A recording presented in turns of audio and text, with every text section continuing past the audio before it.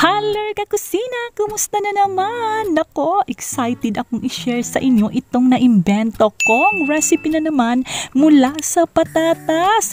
Jack, magugustuhan ninyo at kung ibibenta, abay patok dahil bago na naman sa panlasa ng iyong mga customer. Dalawa lang ito sa mga ingredients na magpapasarap sa ating recipe ngayon. Kaya kung gusto mong malaman kung paano ito gawin, lutuin at inegosyo, abay, watch na hanggang sa dulo ng video ko ha. At kung bago ka pa lang sa channel ko, please like and subscribe para updated ka lagi sa mga negosyo, recipes at tips na ia-upload ko.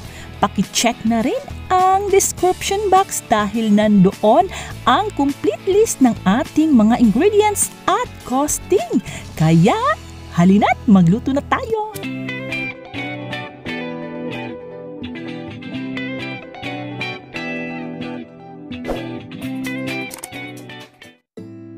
Gagamit tayo ng 300 grams ng patatas, nilinisan, binalatan at pinakuluan hanggang sa maging malambot na.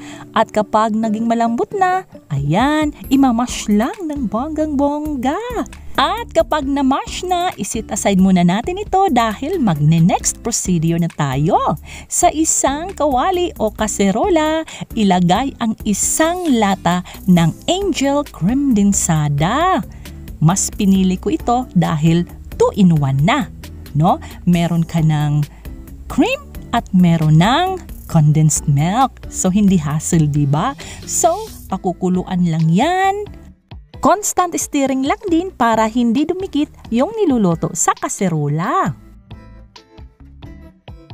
Kapag naging malapot na ang nilulutong cream, saka mo na ilalagay ang minash na patatas. Ayan. And then, ihalo lang ang dalawang ingredients na ito hanggang sa mag-incorporate sila.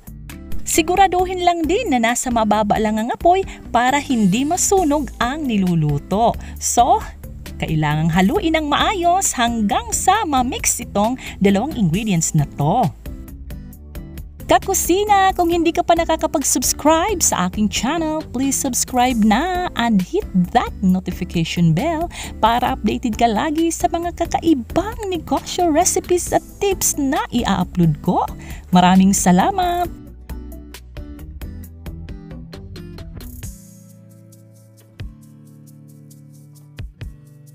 Maglalagay din tayo ng 1 tablespoon ng margarine. Kung may budget ka, pwede mong ilagay dyan ang mamahaling butter. So, tutunawin lang yan dyan. Ano? Yan. Kung gusto mong gumawa ng maramihan, dublihin o triplihin mo lang ang mga ingredients ng recipe na ito. Lagi kong sinasabi yan sa description box na mas maraming lulutuin, mas malaki ang kikitain. Continuous stirring pa rin hanggang sa maging malapot na. At kapag naging malapot na, pwede mo na siyang hanguin at isit aside hanggang sa medyo lumamig na bago natin ilagay sa ating mga sisidlan.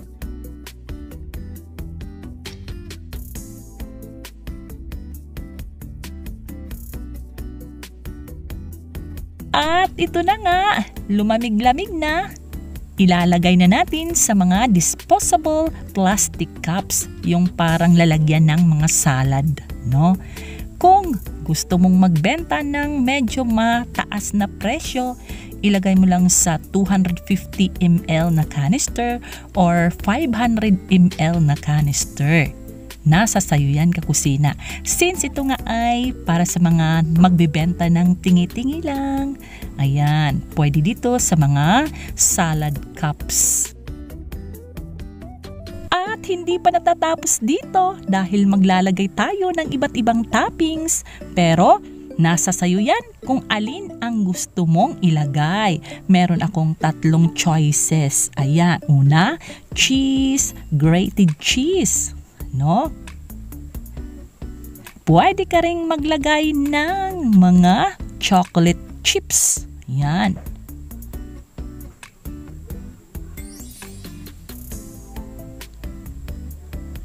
O kaya naman ay crushed peanuts.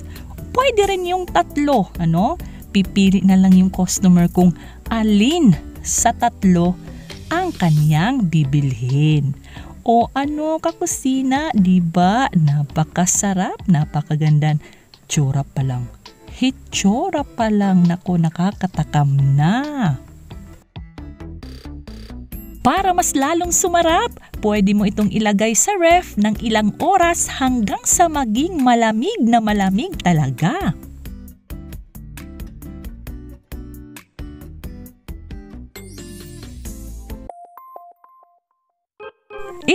Na kakusina ang ating potato jam ice cream na napaka-unique at napakasarap.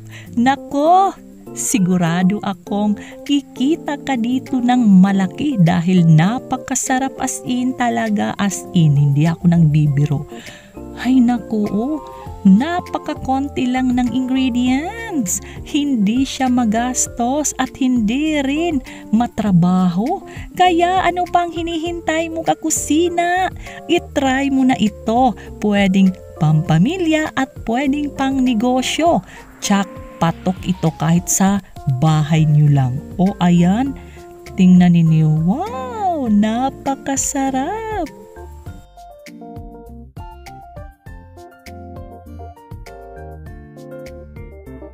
Maraming salamat kakusina! Kung bago ka pa lang sa channel ko, please like, share, comment, and subscribe na po sa aking channel. Wala mo nang pa-shoutout ngayon sa susunod na video ko na lang. Maraming salamat! Hanggang sa susunod na video ko!